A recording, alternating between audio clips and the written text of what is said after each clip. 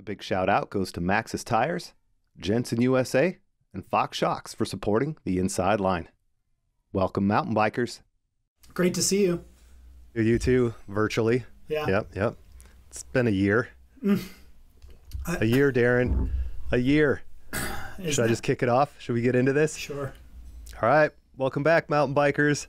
It's been a year since Darren, who you see here, and Jason Schroeder and I recorded a podcast about the new push fork.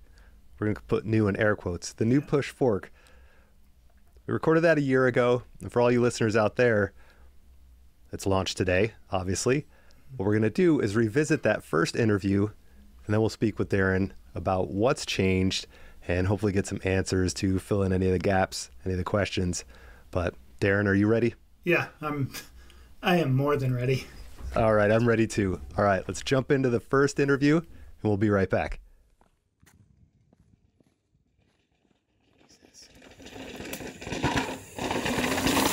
Welcome, mountain bikers. Thanks for tuning into the Inside Line podcast. I'm your host, Sean Spomer, and I'm here with Jason Schroeder, Vital MTB tech editor.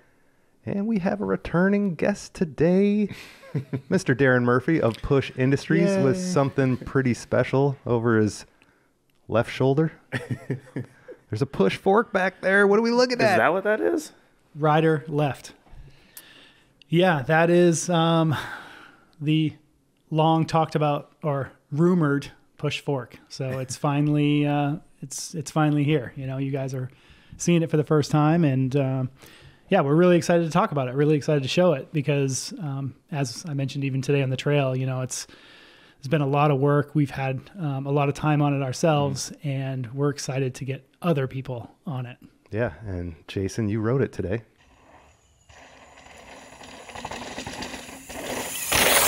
I did. Yeah. I had the pleasure of doing so. So I'm sure we'll get into that a little bit. Yeah, sure. For sure. Let's just start with it.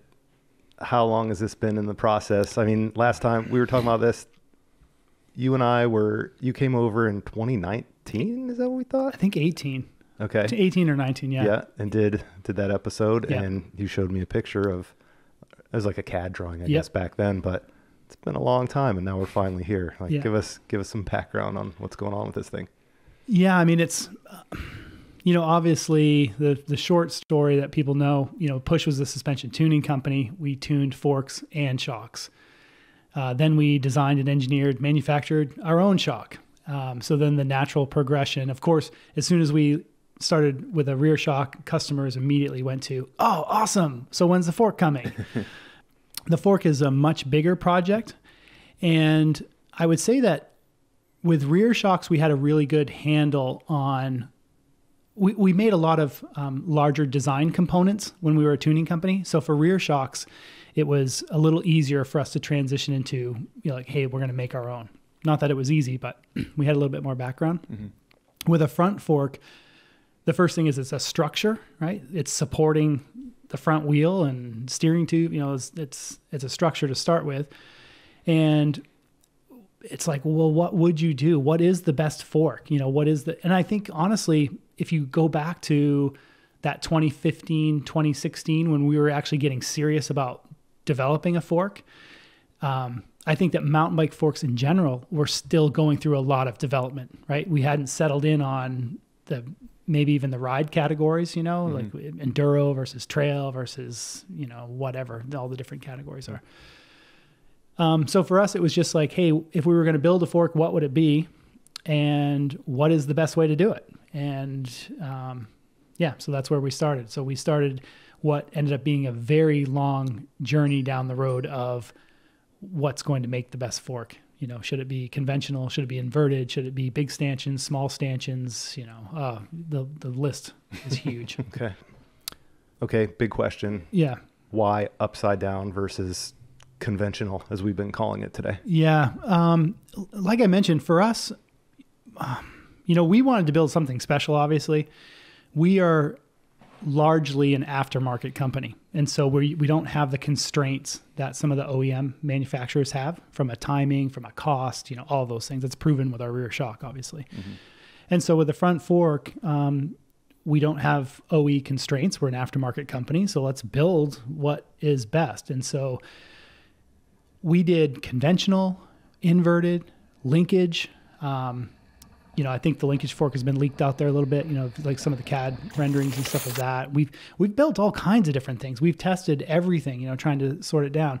And and you know, for us, it was really a question of why do mountain bikes use what they use, and why do motorcycles use what they use? You know, so why when you look at Supercross, motocross, uh, GNCC enduro racing, MotoGP, World Superbike. You know, like whenever you look at motorcycles, they're all inverted. Every performance suspension fork is inverted. So when you look at the shocks, there's monotube and twin tube shocks in moto, right? That's that's what you get. Okay, so there's monotube and twin tube shocks in mountain bike. There's monotube and twin tube in motorcycle. Well, in motorcycle, there's pretty much all inverted but yet mountain bikes are all conventional. Why is that? And so for us, that was the kind of the first thing is is we had a lot of experience with conventional forks, you know, with RockShox and Fox forks and everything else. Didn't have much experience with inverted because what are you going to? Who has one? Mm-hmm. And so um, we just looked at it and said, what would make the best possible product and why? Let's understand. Let's talk to motorcycle engineers. Let's talk to motorcycle suspension people I have a lot of experience personally in motorcycle suspension uh, prior to starting push. But let's learn, let's understand like why why why an inverted fork? I mean, everybody throws out there's a few things in the mountain bike industry. Oh, inverted forks, the seals and foam rings are always lubricated and that's good. But the forks are torsionally um, not as not as stiff and that's bad and so we can't use them. Well, we wanted to kind of expand that and say, hmm, where where are the boundaries? What is good, what is bad. Let's ask a lot of questions. Let's build some stuff. Let's see. Let's just build it and ride it and see what happens. And at the end of the day, um, we could build either one. We could go conventional, we could go inverted. Um, the invert was the way to go from all out performance. If it was not a factor of manufacturability, assembly, cost, like what is going to be the best product, it's the invert. Did you build a conventional prototype or anything? No. Um, we built some systems, but we never built the conventional fork. Um, we designed a conventional fork, just like we designed a linkage fork. We played around with different linkage concepts. Um, we've done a lot of things, but we never we never went through because it's one of those where we built some systems and started looking at things, and every single time on the design table, well, first off, we had a bunch of really excellent conventional forks let's let's just be clear about this that the conventional forks that are on the market today are awesome, right? Hats off to the the um, Fox and RockShox of the world because they do an amazing job building what they built. We're a different we're a different animal, obviously.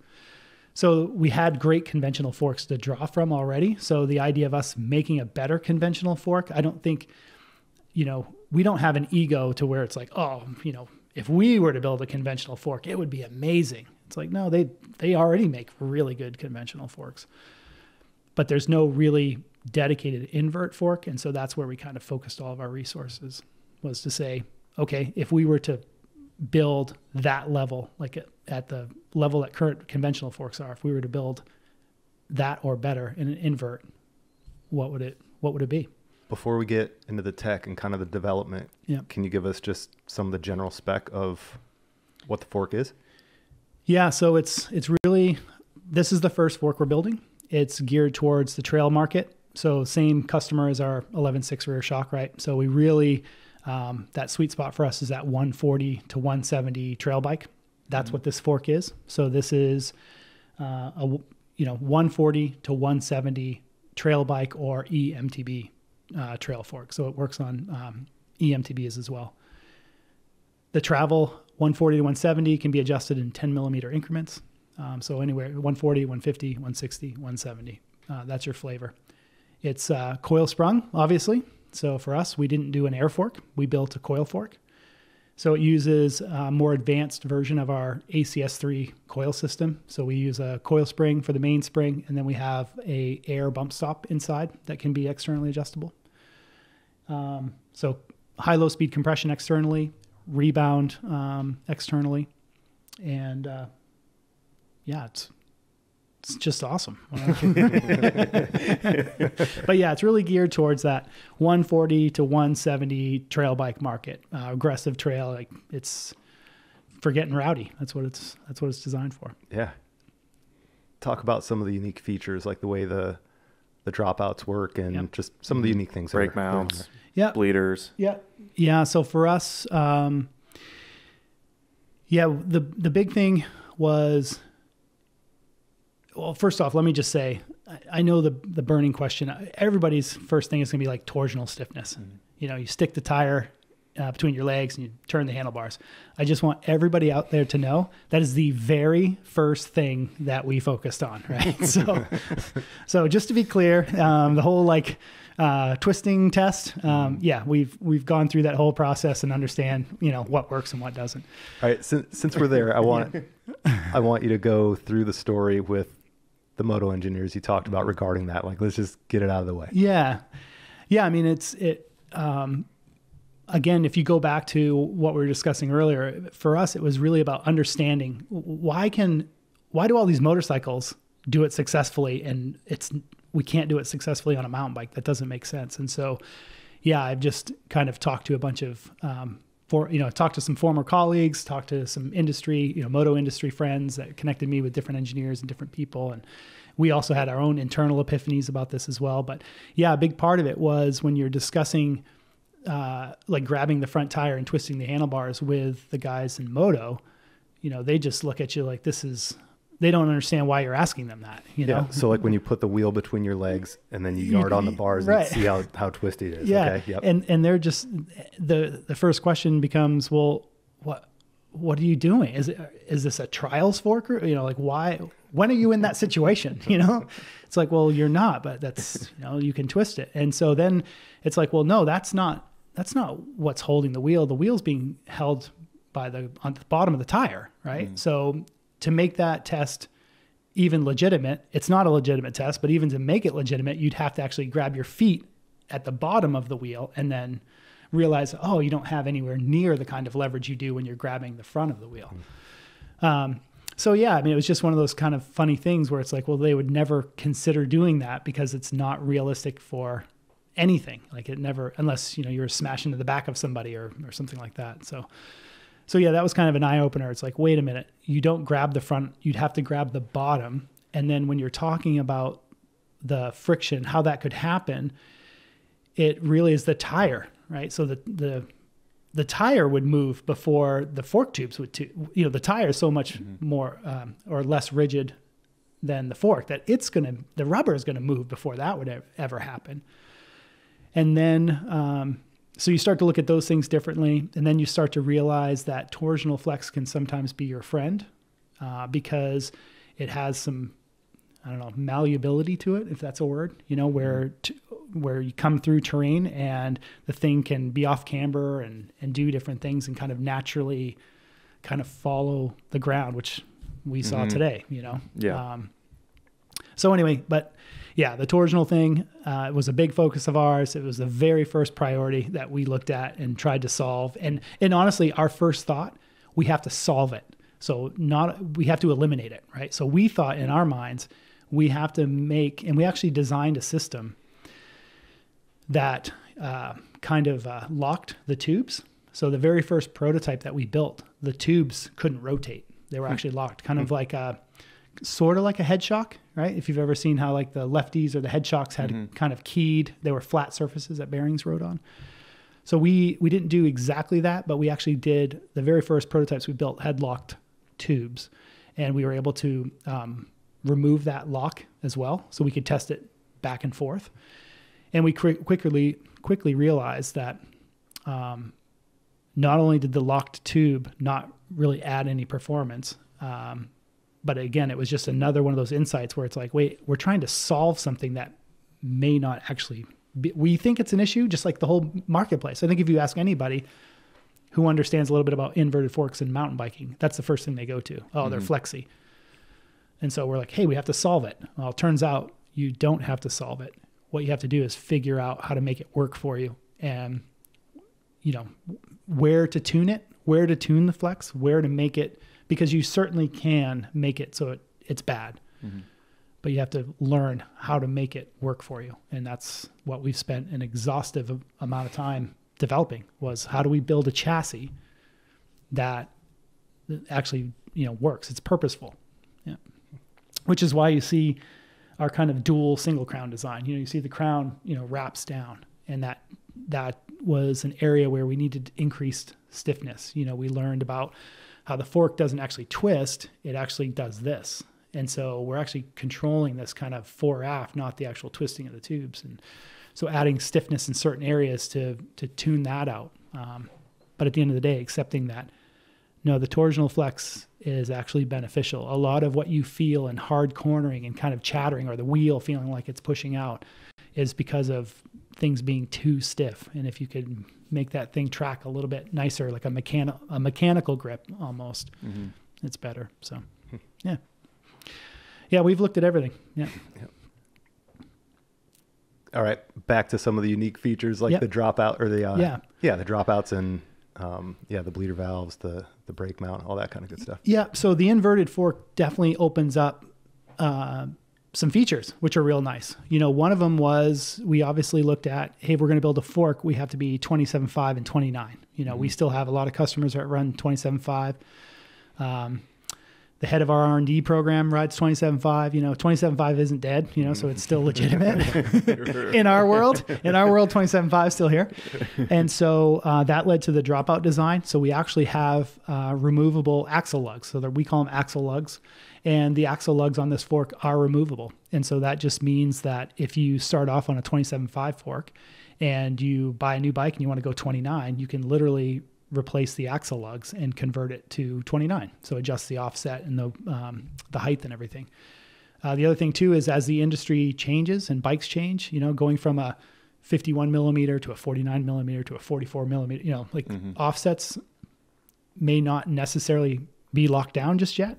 And so uh, we have that flexibility too. So even if you have a 29er 44 millimeter offset and all of a sudden 46 millimeter becomes the hot new thing that you have to have, you can swap out the axle lugs. So just changing the axle lugs instead of having to buy a new fork or whatever, it's like it's it's a relatively straightforward thing to do, and it's something that um, users can do. We don't have we don't have to do it at a service center, for instance. Uh, that was one. Another one that seemed reasonable to us is uh, brake adapters. You know, we we have demo bikes and test bikes, and we're constantly you know changing forks and this and that. And um, another thing that just seemed to make sense was having a um, brake system built in the axle lug where it accommodated both 180 and 200 millimeter rotors with one mount. And so uh, we use a we have a, a design where you can put either a 180 or a 200 mil rotor on there with no brake adapter, and so it um, just your caliper just bolts up straight to it. So that was something that, again, it's a cost thing, so it's more expensive to do it that way. But for us, it was just kind of cleaner to have a caliper that just hey, it just mm-hmm. directly bolts up, and you can go through between rotors and not have to chase down, um, you know, a brake adapter. Mm-hmm. And I know it's frustrating for consumers too. Like you buy a brand new fork and you're so pumped, right? It's Friday, you got your new fork, this and that, and then all of a sudden, oh, my brake doesn't bolt up to it. I need a, you know, I need a different adapter. Like these mm-hmm. are real world things that that we hear, you know, that, that Yeah. frustrate people. So yeah, we've got the um, uh, the, the cool brake system. So 180 and 200 standard rotor uh, bolt up. Uh, the travel adjust, as I mentioned earlier, is something you can do at home as well. So we've kept uh, the internal travel adjust system is pretty unique. It doesn't require new parts, and so it, you can take the plunge, what we call the plunger rod, the spring plunger rod out and reposition it in 10 millimeter increments on the rod yourself. And so no special tools. Um, it kind of uh, the top cap clips. You slide into position, lock in the pin, clip it back down, and you now have a 150 fork when you had a 160. Or Yeah, that's cool. yeah. So making uh, that travel adjust. Um, springs, you know, we offer nine different spring rates, five pound per inch increments. Um, so getting the getting on the correct rate, like the fine, like a nice fine tuned rate, because you know air forks are very popular for their ease of uh, fine adjustments, right? Can just like, hey, I can just add a little air pressure, etc. So we do have the air bump stop, which goes from zero to 30 psi to control the ending stroke. It controls both how soon it comes in and how hard it comes in. So you can adjust the end stroke progression. And then with the springs, again, you just have that that real fine tuned control if you want to experiment, if you want to test new things, or if you're someone who, you know, like right now we're in SoCal, this is your local, you know, trail riding, but you do a Whistler trip every year, or you do a Moab trip or something like that where you're Mm-hmm. riding different terrain, the ability for you to just have a, you know, one spring rate firmer for that type of riding and to be able to switch it out again just in your garage Yeah. was really, really important to us. Hmm. So yeah, that's a cool one. Cool. The you mentioned servicing, Yeah. um, like changing the oil and stuff. Can you Yeah. discuss that a little bit? Yeah. Um, yeah. Sorry, I keep turning away from the mic, but yeah. And so in the back of the fork legs, uh, again, one of our engineers, kind of a clever guy, we, uh, you know, we have bleeding systems that we use for, for building our rear shocks. And he just thought, Hey, why don't I just put a bleeding, a bleed port into the fork in a position where we can just draw out the fluid and, um, you know, drain all the excess stuff and put new stuff in. So we do have kind of a quick service capability with this fork where on the back of the fork leg, there's some uh, set screw that you remove. You hook up the syringe with the bleed fitting, um, pop the little uh, valve at the top, and you can just draw out all the old oil, just suck it right out, vacuum it out, uh, dispose of that, and then fill the syringe with Freshie, screw it back on, pop that valve again, and then just push in your uh, new lubricating fluid. Um, you don't even have to take the fork off the bike. You don't even have to take the wheel off the bike. You know, you can just kind of literally just do it. Um, and so that's kind of a that's a kind of a clever little feature. Um, and again, because you know one of the big advantages, as we all know, with invert forks is the foam rings and the oil seals are always submerged in oil. That's what you know. That's why they're so buttery smooth. That's why they're always perfectly lubricated. And so, uh, being able to take advantage of that feature and having clean fluid that you can just do easily, it's something where you know every couple of months it, it's just not a drag. Like you, you're like, you know, I just feel like changing up my fluid right now because it's easy. Mm-hmm. You just do it, and so you have this great lubrication system based on the design of the fork, and then you have this ease at which to change the fluid. It's like, yeah, it just keeps it. I think most people, after you do like a lower leg service, you know, you generally are like, whoa, man, this thing feels great. You know, wow. You know, so for people who've had that experience, imagine just being able to, you know, do a quick draw on the fluid. Just like, Yeah. hey, let me take out the old stuff and put some new stuff in. Or, you know, there's different fluids, different lubricity. It's wintertime. That's the other thing. Where we live in Colorado, you know, during the winter, we tend to use a thinner fluid um, because you get some, some, uh, almost a damping effect from the fluid being so, so viscous. Yeah. And so that's another thing. If you live in a climate like ours where, hey, it's coming up on cold temps, I just want to put, you know, two and a half weight in there instead of seven and a half weight, you know? So the seven and a half weight's really nice because it's, it's, it's nice and gooey and smooth and all that stuff. But in the wintertime, it's like molasses. So let me just change that out. It's little things like that. Yeah. You know, it just, that's what we deal with. Again, being an aftermarket company, we talk to end users all the time. So, um, not that the other guys don't, but I think we have a really strong database of customer feedback to draw from that. And that's where some of these features come from. Yeah, for sure. Yeah. Go ahead. I was just going to comment on kind of that matched with the ability to just travel at, you know, 10 mil increments, the ability to change what front wheel size you're using, what Yeah. brake mount, like all of the kind of modularity of it is Yeah. awesome for like end user. Yeah. I mean, we'll probably get to the price point it hit because you know it it, it, it, it it's on brand. Um, but like, and that's kind of you guys' all whole mo is that once you get on one of your products, the whole idea is that you'll have it for a long time, Right. And that opens the door for you know you have a fork you can apply to multiple bikes over time. Yeah. and I think that's rad. It's really cool. Yeah, it's it's there's a lot of reasons we do it. Um, uh, the number the driving focus is customers, right? Customer experience is everything to us, and um, in today's day and age, it's not bicycle based. It's just global products, right? It doesn't matter what it is. Things have become disposable in this world, and it doesn't matter what the price. You know, super expensive things are still disposable to a certain degree. And so part of it is that where we're like, hey, we we want the customer experience to be something that isn't disposable, that doesn't come out next year with a new version of it, and now you've got the old one or whatever. So, um, you know, I was telling you guys the story this morning. We had serial number 17 from uh, May of 2015 uh, shock come in for service, you know, and we're stoked that, you know, if a shock from 2015 comes into push and gets serviced, you know, and gets fresh everything, and even the anodized knobs that are kind of dull, we put fresh dials, and so that's a big part. And I think um, in today's day and age, it's socially responsible, you know, to to not be disposable. Um, you know, we we are a manufacturer.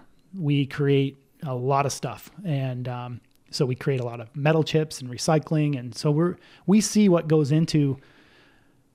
Not that other companies don't, but we we have a first-hand view of the materials and the fluids and all the things that go into manufacturing something. And so I, we definitely have a responsibility as a company where we look at it and say, we don't want to make something that gets thrown away. We don't want it to go into landfill. We don't want it to be recycled. How can we sell someone a really awesome product, provide a great customer experience, and something that lasts, you know, that they feel like they're invested in? Yeah. Yeah. For sure. Okay, made in the USA, just like your shocks are, right? Yeah. In Colorado. Let's get to the price and let's get to the weight because you know those are usually some of the first two questions, right? How much does it cost? How much does it weigh? Yeah. Uh, price is 2600 US. And again, it kind of goes back to uh, k- kind of our DNA. We, much like with our rear shocks, much like with everything we do, we always look at how can we potentially lower costs. And with this product, we did the same thing. You know, we we look at changing materials, doing different things, and at the end of the day, we we always end up compromising the performance. And so um, we've kind of stopped doing that now. You know, we've just decided like we, we put all this effort into it and it never works out. So yeah, 2,600 uh, US. Um, you're getting a hand built fork. It's just like our rear shock program, right? You're getting something that we make, we manufacture, we assemble. Like the whole process is in house. And so we have quality, our own quality checks along the way. We have our people's eyes on it. You know, it's something where it's bespoke and developed by us and built by us and sold by us.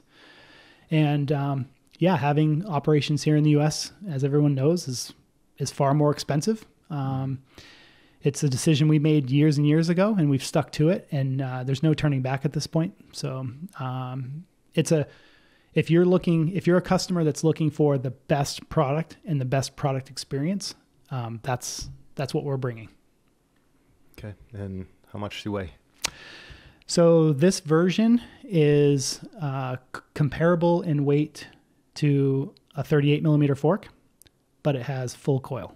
So that's that's the advantage that we have. So um, So, you know, this morning as we were talking and, you know, asking you about why the costs are so high and what the challenges were to get it to perform yeah, the way you wanted to, the the construction and the manufacturing process is fairly interesting with the bonding that you do. Nothing's pressed in. Can you kind of help ex- or just explain why it's so tricky to make?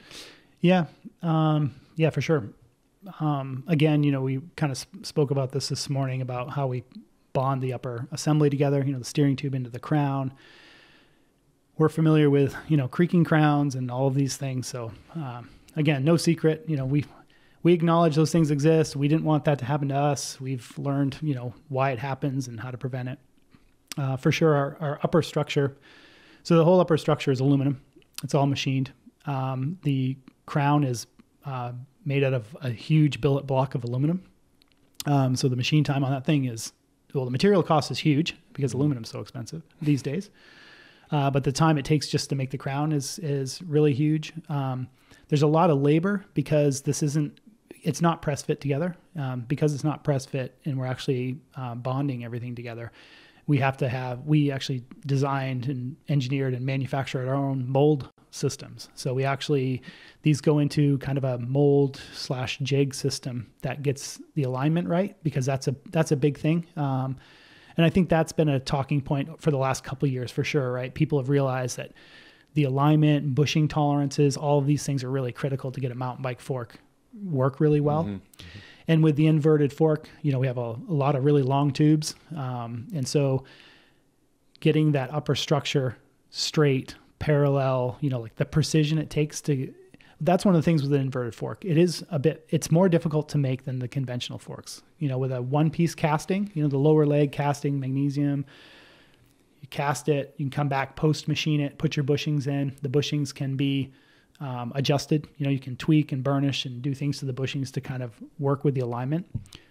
We have less of that capability. So for us, it has to be kind of square out of the assembly jig. Mm-hmm.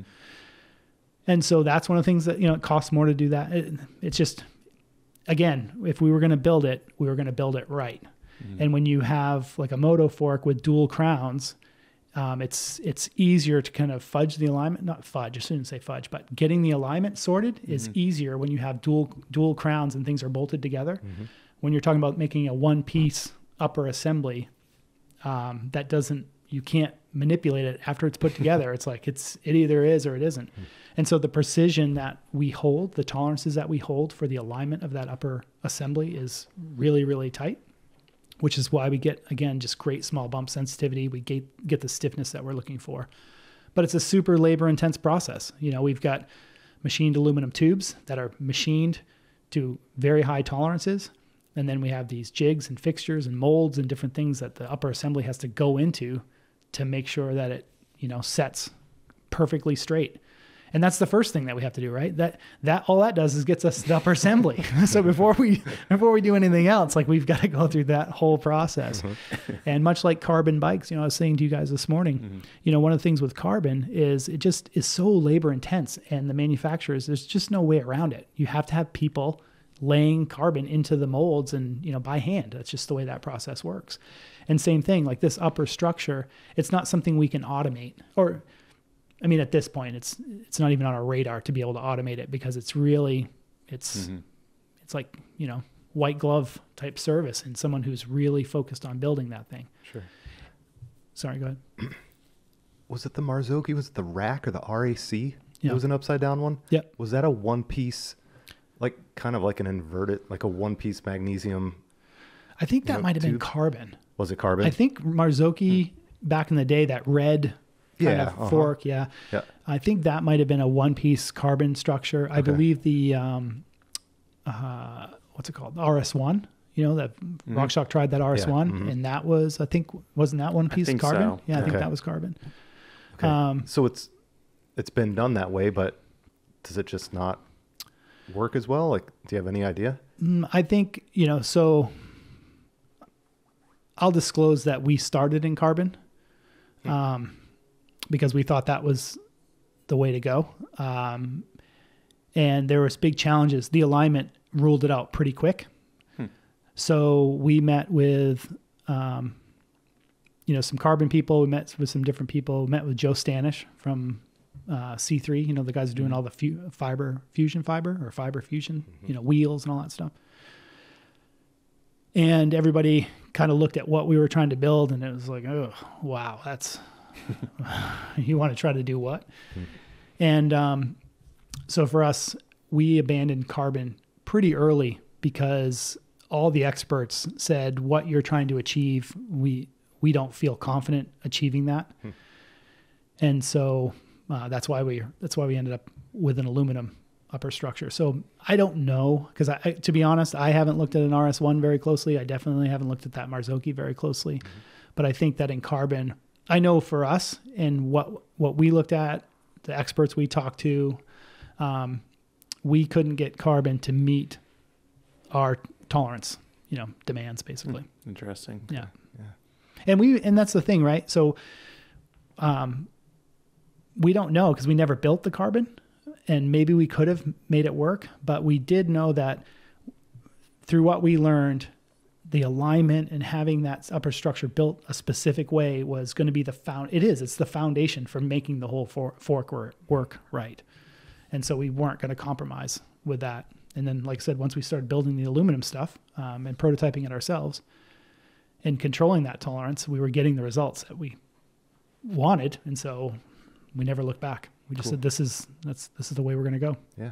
Yep. All right. The guts. What's inside? Um, so yeah, uh, left leg is coil spring. It's kind of an advanced version of our ACS3. So our ACS3 coil kit was super, or still is, I guess, uh, very successful, but it was designed to retrofit into somebody else's chassis. So having a clean sheet of paper, we were able to take our that concept of having coil spring, air bump stop, plunger system, and just refine it so it's much lighter, much more robust, much cleaner. Um, so that's what's in the left leg. In the right leg, we've got a pressurized uh, damper with an internal floating piston. One thing that's really interesting is the compression system is not only like what we use in the rear shock, it is what we use in the rear shock. So the valve system that is in our 11.6 rear shock is what is at the heart of this front fork. And so it literally is the valve system, um, not not a copy, not a replica, not like a, a different version. Um, which is something that our engineers worked on. Uh, again, really clever because they were able to basically utilize that 11.6 valve and tune the cartridge and the rebound system. And so it basically, they built an 11.6 shock damper inside the fork. and so uh, what we have is the same architecture as what we have in our rear shock. So the valve system, the rebound system, the IFP, the what is in our 11.6 rear shock literally is what is inside of our front fork. So on the compression, it is the exact compression unit. In the on the rebound side, it has to be scaled down. We can't use the, the same piston diameter we use in our rear shock, but the architecture, the design, the tunability, the way it works, it's it's identical. And so um, I think that's one of the things, you know, for you guys today, you got to ride the package, you got to ride the fork and the shock. And so that's a unique experience because it's so well balanced. So part of any good suspension, it's not you know, if it's too stiff, if it's too soft, if it's too fast, too, it doesn't matter as long as the front and rear do the same thing. It's Mm-hmm. really easy to ride a bike where the front and rear are doing the same thing, even if it's not optimized. So you can take a fork that's super optimized and a rear shock that's out of balance, and that's not going to work as well as a bike that's set up too soft, but is doing the same thing front to rear. And so for us, we've been able to really ratchet that up because we have that same architecture, the same spring system, the same kind of bottoming system. Um, the same new bottoming bumper system that we have on our rear shock is in the front fork. So our ACS has the air bump stop along with a mechanical bump stop inside. Um, same compression valve, same rebound system. So the ride is, you know, the the the way you tune it, everything is the same. So if you want to make tuning changes to the rear shock, you can make those same changes to the front fork and get the same exact result. So it makes for a for a unique system. So the damper is is something very unique. It works um, the compression and rebound levels and the way it performs is completely different than anything that's on the market. Yeah. And Jason, you got to have basically the equivalent of a run or two on it today, but We'll call it that. yeah, Yeah. speak to how it felt on the trail. Um, Hopefully you liked it. yeah, I, I know, right? I'm like, well, it's it's kind of like where do you start? I feel like there's a few different avenues I could go down. I think probably the first one is instead of using flex when talking about an Yeah. inverted fork, I like compliance. I like that word Yeah. a little bit better. Yeah. Seems less negative connotation, whatever, whatever you want to call it. But uh, we talked a lot about that before we went and rode, and that was in in a positive way, like the most noticeable maybe aspect of the bike uh, or of the fork is, um, yeah, just we didn't really touch on it, and maybe this is a good time to touch on it. Is talking about the parking lot test of Yeah. when you push down on this fork versus a conventional fork, Yep. and how that applies on trail because that was the biggest difference I noticed. Maybe Yep. you want to touch on that first. Yeah, for sure. So again, as as uh, part of this, we kind of learned a lot about the leverage and you know bushing overlap, leverage, bushing bind, and how that really impacts the overall uh, feel of the fork. And so one thing that's interesting, a, a modern conventional fork, when you're pushing on the handlebars, you're driving the inner tubes into the outer. And so you have kind of this direct leverage from the handlebar. And with the inverted fork, it's very unique because when you're pushing on the handlebars, you're actually pushing the outer over the inner tube. Um, it's, you know, it's completely backwards, right? and so, um, you know, that's something where, you know, a lot of people talk about like the sprung and unsprung mass effect, right? So a lot of mm-hmm. times when you talk about inverted forks, like, oh yeah, there's you know less sprung mass, so it's more reactive. Which those things are true, but actually, what is a bigger benefit is that leverage point. And so yes, if you take and push on this fork on the handlebars, it doesn't. It's not like that silky smooth, like super mm-hmm. you know compliant feel. until you like take the fork and push the wheel up against something and then push it. And then all of a sudden it's like whoa this thing comes alive. Or if you flip the bike upside down and push from the wheel instead of the handlebar it's like oh this thing's crazy compliant. And so that was another big eye opener for us. And what you experienced today obviously mm-hmm. was that the bumps are coming from the bottom yeah. right? So while we do parking lot tests and we drive the fork you know drive the inner tubes into the outer and um, you know, are constantly like, you know, put, holding the brakes and pushing on things. That's not the, what the bumps are doing. The mm-hmm. bumps are coming from the bottom up. And so when you look at the amount of bushing overlap that we get in the in- inverted fork, and when you look at the way the leverage works with this long upper structure supporting everything, it, you just, you get a, a more, com- I like the co- compliancy. You mm-hmm. get more compliancy. You get just a more natural tendency tendency to have the terrain muted because mm-hmm. the leverage point is where the bump is coming from. And uh, yeah, it's it's a big difference. So for sure, I'll tell you right now that um, our fork in a parking lot uh, will not compete with the current crop of mountain bike forks. Mm-hmm. That being said, our fork off road will definitely compete mm-hmm. with everything that's out there. yeah. we don't ride our bikes in the parking lot all yeah. the time. Right. but it's natural, right? What do we all yeah. I mean, listen, every every kind of serious mountain biker, first thing you do when you go up to a bike, squeeze brake levers, right? We mm-hmm. all like, mm-hmm. oh, do that, and then we always yeah. push up and down the fork, push up and down the seat. It's just the natural, you know, thing that we do, and uh, yeah, that's that's where we will we acknowledge we will lose that battle as the parking lot battle. we will win the off road battle. Yeah, so yeah. yeah, and maybe that's part of it too, and maybe that's and I mean I don't know, but you know from a consumer perspective, or maybe that's why conventional forks have continued to be so good because for sure, like these these don't feel as good on a showroom floor. They don't feel mm. as good in a parking lot, you know? Yeah. So it's interesting to me because you can go grab whatever fork is currently on your bike and do that obscure grab your wheel twist and there's still flex in your fork. Like it's mm-hmm. not like what you're currently riding isn't flexing. And I would argue a lot of stuff I ride nowadays maybe isn't flexing or isn't as compliant as you want in all situations. Right. And that was, I'm sure we'll be overlaying the section of trail that we shot today, but if you're just listening, it was basically a, a straight rock garden with repeating compressions that were pretty aggressive and yeah. um, muted is a really good word to kind of describe it. But when we did back and forth with my personal bike that I have a uh, 38 on Fox 38 and then riding the push fork and just the kind of fore and aft jarringness of a 38 versus this just more um, mirroring the ground and not feeling as much of like those impacts was probably like the biggest difference. Like the magic carpet kind of feeling that, yeah, it's it's kind of hard to explain because it is it felt really different from a lot of stuff I've ridden, but yeah. in a good way. It was never it wasn't flexy, but it was not stiff in a good way. It was like when you want your when you want your suspension to feel like it's not binding, it's doing what it wants to.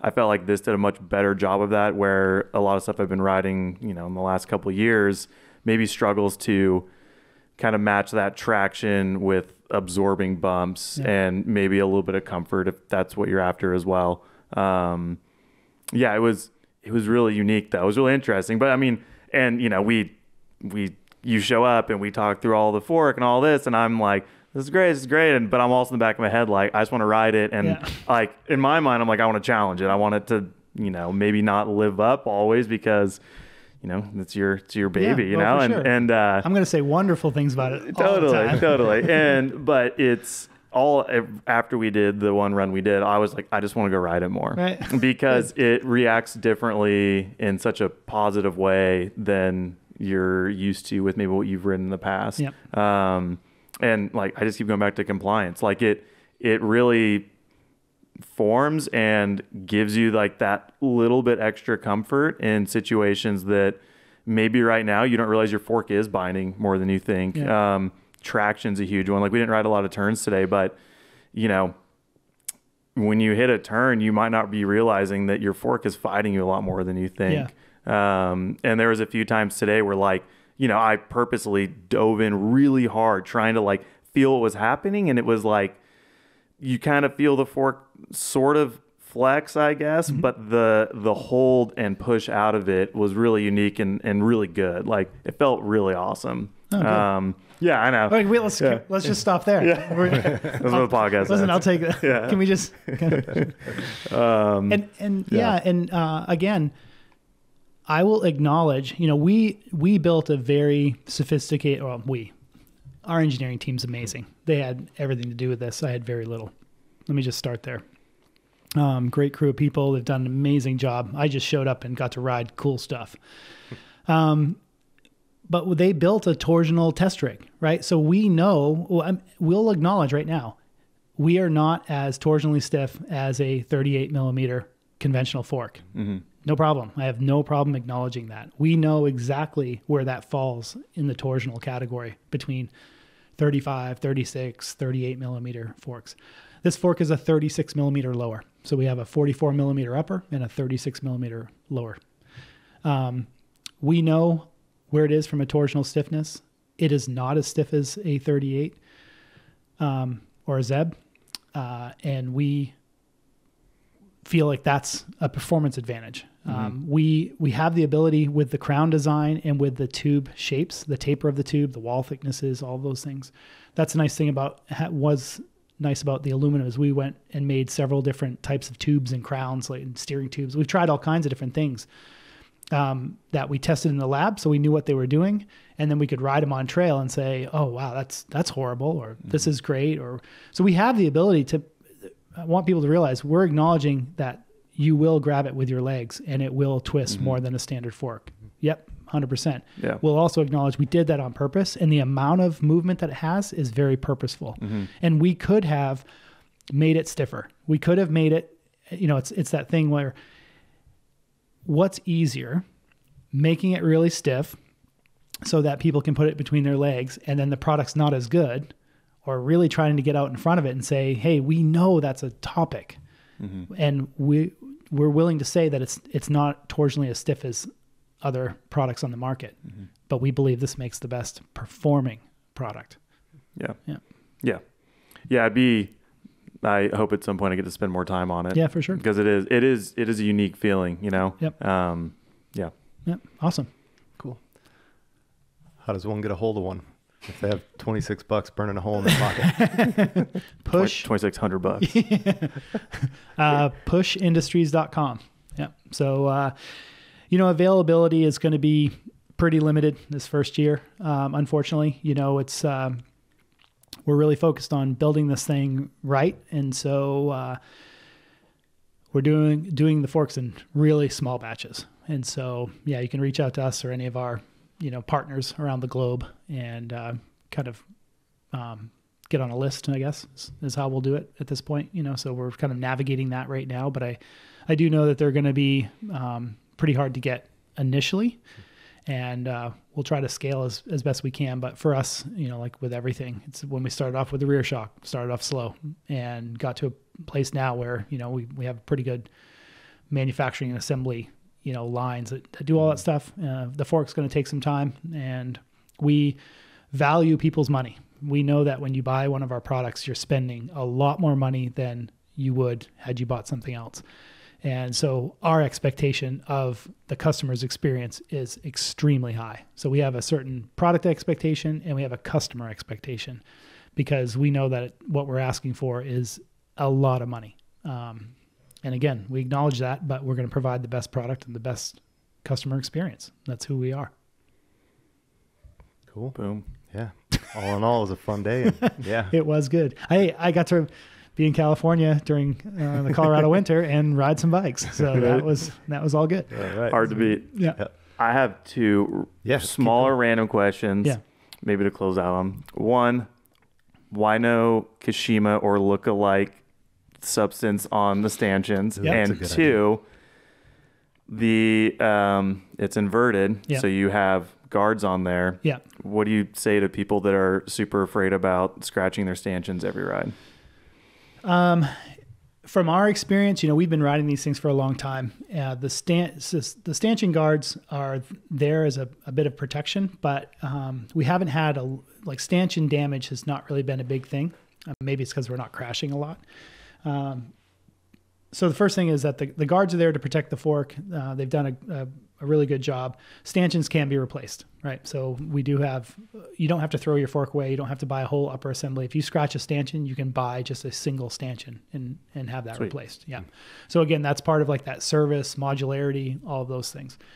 Uh, second is the tube coating is our kind of our take on it. So we have what's called micro XD. Um, that's what our shock bodies and reservoirs and shock shafts have been made uh, uh, coated with for years. Uh, so for us, it's a very familiar process, and it pr- produces uh, what we feel are better results. So we're really uh, confident in that coating. It's been on every 11.6 since 2016, Sweet. and so that's what the stanchion tubes are actually. So the inner tubes or stanchion tubes are are micro XD coated, um, which is a yeah a coating that's been great. And if you do scratch one, uh, we do have that replacement. Uh, another quick feature, talking about the fork guards. So right now, um, I'm running no fender, uh, and I have just the cable hanger. So I have um, the the fork guards are threaded. You have a cable hanger to hold your front brake cable, and then we do have the option uh, for a little loop brace that connects the two um, fork guards, so that you can apply. You can just zip tie or Velcro a traditional fender. Mm-hmm. So you can have a traditional rear mounted fender, which is uh, just kind of makes things easy as well. Yeah. Yep. Sweet. Cool. I'm good. Good to go. Yeah. Mm-hmm. Let's go lock him in the bathroom. You can go take more. I know. I know. Yeah. I'll just get you guys another one. yeah. Um, and uh, yeah, and that's not a production color, by the way. That's mm-hmm. custom. And they're and they're 3D printed guards as yeah. well, right? Yeah. yeah. Yeah, so that's yeah, yeah that, that's the thing. What you guys rode today is one of our longest term uh, prototypes. So yeah, this is uh, we're we're in full production now, but yeah, this fork has seen a lot of different rides, a lot of different places. And yeah, so. yeah, Jason smashed it pretty good today. Yeah. So now, yeah, thank you so time, much. Time to be retired. No, thanks you guys. That was super fun. Yeah, yeah thanks, awesome. Okay, cheers. We're back, Darren. Biggest question: What took a year? We had a working prototype that Jason rode. We posted yeah. footage of it, all that. We had it in our hands. We were looking at it, yeah. super hyped. Oh, a couple months out. Who knows how long? Here we are a year later can you kind of walk us through why it took so long? Yeah, honestly, um, it was a really big surprise. It comes down to one thing, which is okay. uh, I'll have it right here actually.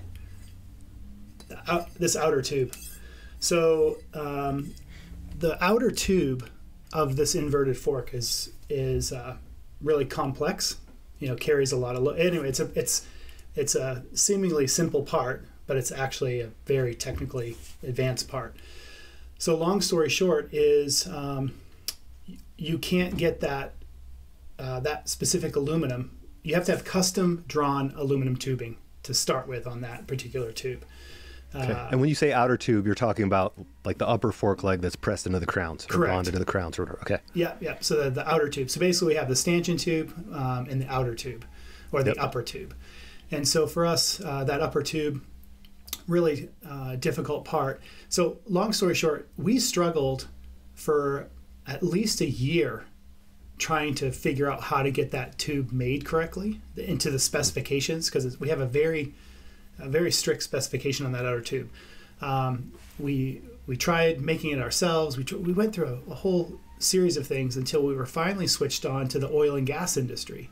And so I didn't realize that the oil and gas industry here in the U.S uh, makes really high precision um, tubes and fittings that go on these big pumps and stuff.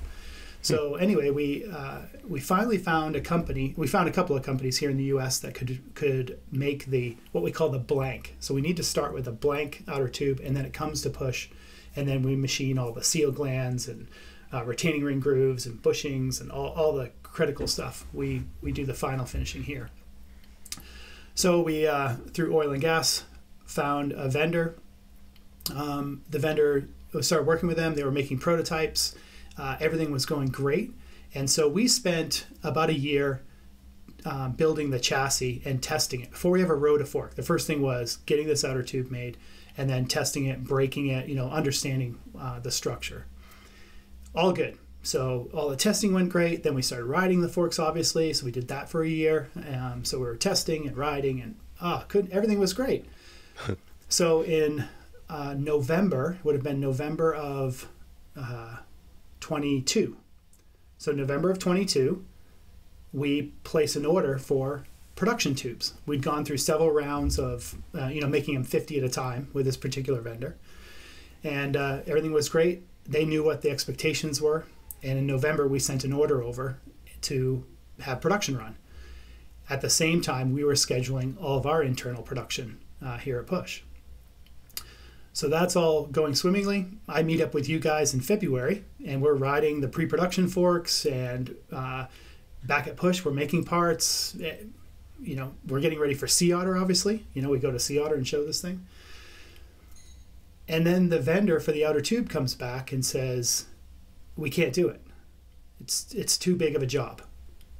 And it's like, Like wait. like they can make the tubes, but the numbers were just too big for them. Correct.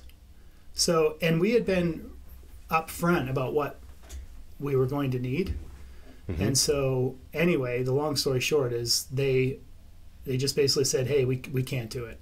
Um, we tried to negotiate with them, and ultimately they said it's just not going to happen, which left us um, in a tough spot, and so we now had to find a new vendor an- or another vendor, well, a new vendor, and go through that whole process of qualifying the tube again because it has you know we have to go through all of the testing process. And fortunately the testing process is done in house our engineering team had built all the test rigs and everything. But we had to find a new vendor have prototypes made put them on the test rigs bend them twist them break them and you know some of these tests are you know like we have a four aft uh, cycle test that is like a half a million cycles. And it takes nine days straight. So the machine sits there and you know bangs this thing back and forth, and it takes nine days. And then you make an adjustment, and then you have to run it for nine. You know, it's there's you can't speed it up. So that process Right. is the process. And so um, a big part of making the fork is is all the durability testing. So anyway, we had to go through that entire process again to qualify this new vendor and um, have those difficult conversations up front, which is this is what we actually need, etc. Um, and that's in a nutshell what happened is we basically had an outside supplier that was supplying the blanks. They pulled out, and we had to go find somebody else, and we had to take all of the necessary steps to qualify that outer tube again before we could move forward. Meanwhile, production here at Push is cranking at 110%. We're making thousands and thousands of parts, not knowing if For we're the have it forks. out- Yeah, Yeah. yeah. So this, so like again, you know, I look back to Sea Otter last year when we're showing this thing. I mean, our factory back here in Colorado is cranking. So we're showing this thing, and the factory's cranking, and we're expecting really like, you know, July it's going live. Oh, man. Di- didn't play out like that. Okay, since you'd at least been through the process with the first vendor, Yeah. did that make going through it again easier? And was the new company as capable as the other one? Uh, yeah, it did make it easier because we obviously had a, a wealth of knowledge going into it. So we knew exactly what we, all the pinpointing, right? We knew exactly what Yeah. we needed to, to test. So that part definitely went faster. And uh, the new vendor is uh, a, a really large company. We honestly, um, you know, we always try to keep all of our vendors as local as possible. Yep. And we also like to work, well, we tend to work with smaller boutique company. You know, we, we like to work with smaller companies because they tend to have more flexibility. The big companies tend to scare us because Mhm. lead times and sometimes there's many layers you have to go through in order to do business with them. But in this case, it was just like the decision was, you know what, we had this huge company that we were nervous about, but let's just let's just do it. And of course, there was some stumbling blocks because of their size. So we did run into those, you know, our sense of urgency was not not their sense of urgency, obviously. and um, you know, they have uh, they have several departments, and so you talk with the sales team, which talks with an engineer. You know, there's just several. So the good news is uh, they're a very large entity and uh, have proven to be a great supplier. And um, ultimately, working with a large supplier like this, when it did come to production, uh, they're just like, oh, this is you know easy like that. That's a, actually a Crazy. pretty small order for us. So Okay. um, yeah, so it's all good. So we have uh, we have that behind us, and um, yeah, we have today we have uh, forks going into boxes. So yeah, can you talk about the number of forks? Like, if you know that's none of our business, so be it. But you know, you said okay, you worked with the first company on making 50, but then when it came to production levels, they're like, yeah, that's too big. Like, can you get into that? That's dude. That's like asking me how much money I make. No. it's the internet. You got to be nosy now, even if it's not nice. right. you Um, don't have to. I'm just curious. yeah, I can't get into the specifics. Um, Okay.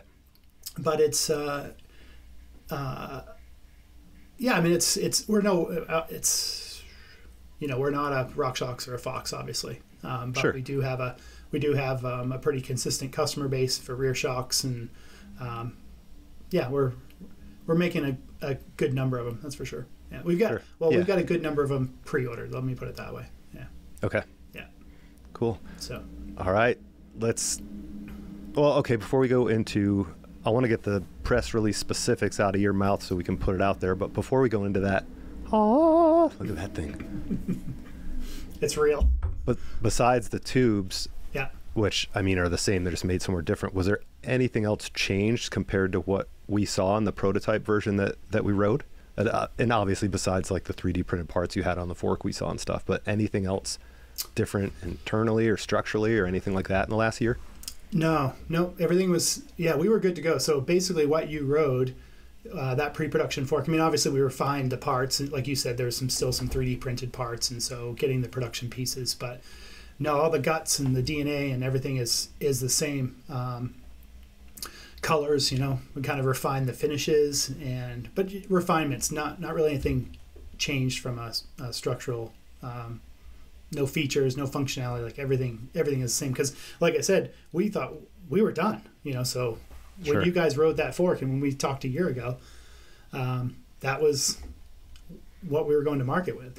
Uh, yeah, I mean, we got a bunch more ride time on it since Mhm. since then, which uh, we already had a lot of riding on them. So it's one of those things where we didn't need more riding.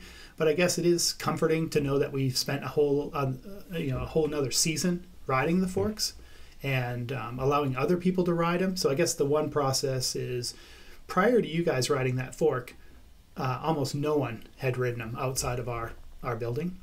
Mm-hmm. And so I think one thing that has changed since then is uh, more just, I mean, we've had customers riding them. Like, just we've brought in customers to say, hey, you want to try this thing? Like, Mhm. go ride it. And so it's been nice to get more ride time on it. Um, and, uh, but that's about it. But everything else is, it, it is the same fork. Yeah. Okay, cool. All right, give us the full press release rundown of the fork, travel specs, standards, prices, all that good stuff. Since it's here, it's now. Yeah. So, um, yeah, obviously, inverted fork uh, really geared towards the enduro market. Um, travel is 140 to 170, internally adjustable. you know, excuse me, internally adjustable. And um, I'd have to go back and listen to that previous interview, but you know, it's the travel adjust system is really clever in the fact that it doesn't require uh, special tools or parts. So the the internal pieces can just be adjusted in your garage or at the shop or whatever. Uh, obviously, coil sprung, right? That's a big, big thing. And um, I think another big aspect of this fork is it was designed and developed from the ground up to be a coil fork. Air was never even in the conversation. And so it has a lot of refinements and a lot of things that are really focused. We really feel like this is the first ever coil specific package that's been built. Um, 36 millimeter uh, stanchion tubes, 44 millimeter upper tube, um, traditional inch and a half tapered steer. Uh, uses a traditional uh, axle system, so the 15 uh, by 110 um, axle, so sta- standard front hubs. We do have these really cool um, laser cut inserts for the axle lugs, so that you can um, so help center the wheel on a standard hub versus a torque cap. So it is torque cap compatible. Okay. Um, you know, we talked about the brake system. It uh, has a dual brake mount, so you have 180 and 185 and 200 and 203 um, direct mount to the fork, so you don't need adapters to run those. If you have to run the bigger, you know, 220 adapter, then you or 220 brake, then you would run an adapter. But other than that, no adapters necessary. Okay. Um, yeah, it's sick. It's good. yeah. All right. That's what everyone wants to know. How oh much? yeah, yes, two thousand six hundred. Yeah, Okay. two thousand six hundred Cool. retail. Um, it is, you know, we make it, so it is a, a typical push product. You know, we make this thing in here in Colorado. Uh, they all are, you know, manufactured, hand built, custom. You know, tons of tuning options available for this thing. It's it's really the ultimate the ultimate fork. You know, when it comes down to it. Do you know how many days it's been since you decided, yes, we're moving forward with this with this thing? Do you have any idea? Yeah. So um, November ticked off four years. Oh, really? Okay, Yeah. so we're over four years. Okay. Yeah. So in November, November was four years since we started. Um, so we've been we've been playing with a number of fork ideas, and then uh, um, four years uh, that marks the the decision. Like here's our package. Here's the let's start up the CAD work and you know like take it from these theoretical sketches and kind of the project board to actually making things or like designing things. And so yeah, I saw that the first kind of CAD drawings were released um, four years ago in November. So we're, we're past that Wow. mark at this point. All right, there you go. Yeah. and it's and honestly, it was the first. I think I mentioned this before, but the first year and a half was just building the structure and breaking them. You know, before we. I mean, it took us a year and a half to design to design the upper assembly, and um, you know, just figure out like, is this thing safe to ride? What does it take to bend a steering tube? What's it take to, you know, unbond the crown? You know, like all of these are questions that we had to answer. So that's a so it was like you have all the design and engineering, that's one thing, but then you have all of that testing. Um, so the first thing we designed obviously is the upper assembly, just so we could figure out how to make it work, and then, Hmm. which is another thing we just you know we never talked about. But here's a little tidbit of information. I will so one more specification that we'll talk about is the fork uh, bushing system. So uh, this fork uses fixed bushings. Um, there's been a lot of speculation that the fork uses floating bushings. It does not. Mm. Um, but I will say that all of the first forks did use floating bushings. And so the original design was to use floating bushings, and we went through several iterations of that. We really felt like that was going to be a key component to the structure. And so all of the first forks used a floating bushing system. And for people, um, you know, a, a traditional mountain bike fork, the fork bushings are pressed into the lower leg. So the fork bushings are pressed into the lower lower leg, and they're static, and then the tubes uh, sliding slide in and out. With a motorcycle fork, the uh, one bushing is fixed, is pressed into the outer tube, and then the other one is on the stanchion tube and floats. So as the fork changes travel, the bushing moves with it. So you always have this varying overlap. And we thought that was uh, going to be necessary to make this thing work. And so all of our original uh, prototypes, the first three generations, had float, various floating bushing designs. We went through, oh my gosh, I couldn't. I mean, if you told me it was 25 different iterations, I'd believe you. Um, Wow. Trying to make the floating bushing work, and ultimately, uh, we couldn't we couldn't get it to do what we wanted it to do, and so then we struck a different prototype with the fixed bushings, which is the upper tubes. The bushings are pressed into the upper tubes, Okay. and that was like a home run right out of the gate. So taking the inverted design, and it really came down to the fact that uh, the reason motorcycles get away with floating bushings is because they're filled with oil, like solid, solidly filled with oil, and the oil acts as a bearing. It's because oil is not compressible. Um, any gaps between the tubes and the and the floating bushing are bushing are taken up with with oil, and so acting as a bearing. So it's a solid surface. And with a mountain bike, bef- because we use lubricating fluid, uh, we could just never get the bushing to behave the way it needs to. And so I'm, I'm not saying that it can't be done um, in the future, but I can say that it the benefits of trying to get it to work uh, are just are outweighed by um, how do I say that? There's just such a small benefit to it in a mountain bike single crown fork that it doesn't really make sense to even move forward with the development. So, So one thing that has been speculated is that this uses floating bushings. I can say that we exhausted that and ultimately landed on a fixed bushing system, which is far superior in uh, all performance aspects. Okay. Yeah. Cool. Good to know. In hindsight, would you do it again? No, Really? no, I'm kidding. Okay. Yeah. yeah, I mean it's it's been really it's been a really difficult um, thing for the company being so small. You know, being such a Yeah. small company, it's been a big thing. You know, we really bit off a lot with this, and uh, I was even joking the other day as I'm, I was down on the assembly floor and watching like you know customer version forks being built, and uh, I was laughing and joking with one of our engineers. It's like we have no business doing this because it is such an advanced piece of equipment and we are such a small team of people you know? It's like Mm. man we really don't have any business. But we're really passionate you know you know that. Um, we're Yeah. we're a passionate team of people and um, we only want to build the best stuff. And the challenges have been tremendous um, with this with this product.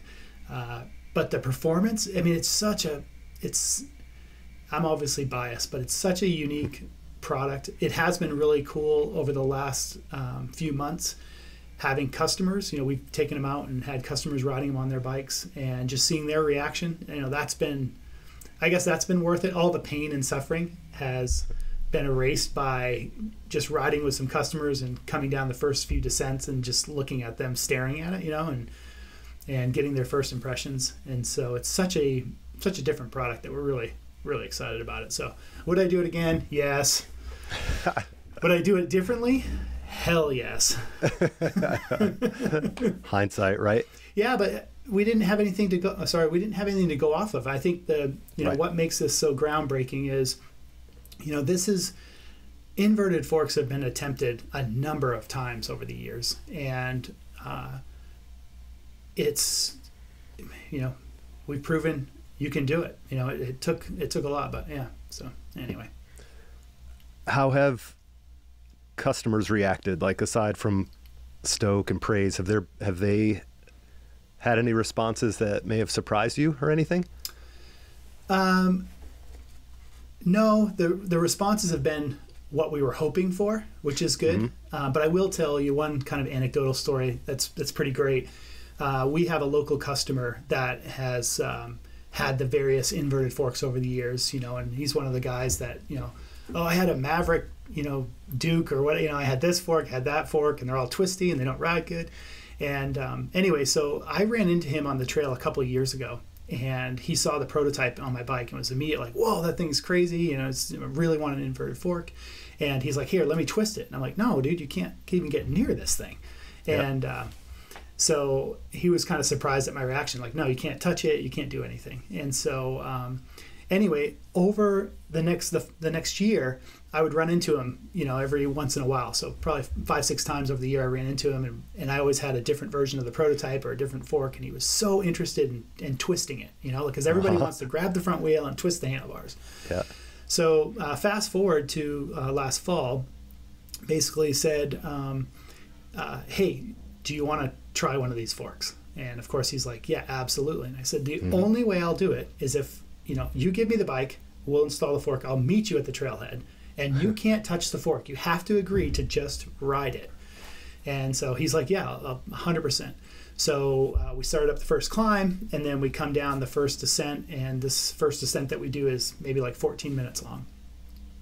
And so we get to the bottom, and he's just you know grinning ear to ear. And I was like, "What do you think?" He goes, "Man, it's just incredible. It's like the stiffest thing I've ever ridden, and it's just the performance. You know, everything about it.